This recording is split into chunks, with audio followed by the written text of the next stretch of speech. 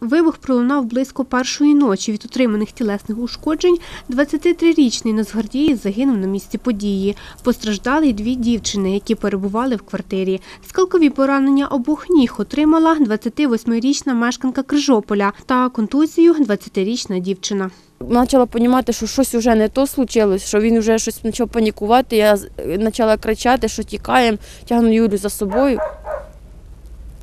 По- Тягну подругу за собою і вже якби я, виходить, різко почала тікати за ці секунди. Я по- повернула за двері за поворот, а вона е, туловище її було вже за стіною, але ноги остались якби напроти тих дверей. Хлопець вирішив продемонструвати гостям гранату РГД-5.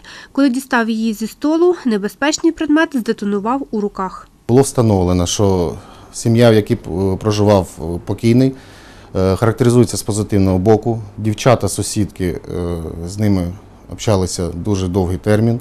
В той день, е, тобто, щоб сильно вони зловживали спиртним, встановлено не було, е, випивали вино, Сусіди вибуху не чули. Про страшну новину дізналися вранці.